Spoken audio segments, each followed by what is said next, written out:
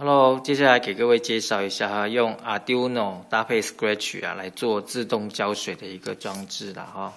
好，那这边呢，我们有呃用这个海绵呐来模拟这个土壤，因为海绵很会吸水嘛哈。那啊这上面已经洒了一些水，所以有一些含水量了啦哈。那这一个呢叫 Terminal 哈，之前是用来测那个水容易导电性的哈，当然也可以测土壤的一个水含量。那后面呢？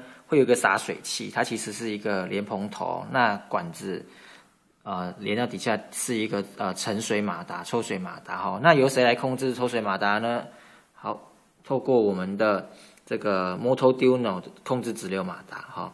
好，那这边呢呃讯号呢来到 Arduino 之后呢哈，那会在 Scratch 上面显示出来哈。那现在显示的是大概含水的一个数字，大概是三十三十一上下左右了哈。旁边有一棵假的植物了哈。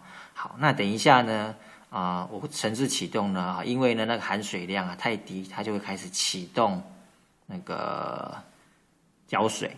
好，那等一下含水量如果到达我设定的一百五的话呢，它就会啊自动把那个马达关掉。好，那现在呢，我们就来看一下示范了哈。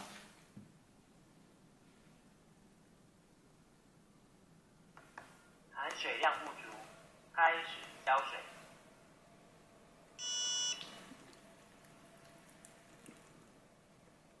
好，我们来看一下哈，因为才浇一点水，马上那个数字就已经冲到一百多了哈，那冲到一百五了，那现在又掉下来了啦哈。好，因为呢这个海绵啊，这个水分会慢慢的往底下流下去哦，所以那个。含水量会一直在降低。那你如果要让它重复的做的话，就要写写一个回圈，让它重复的。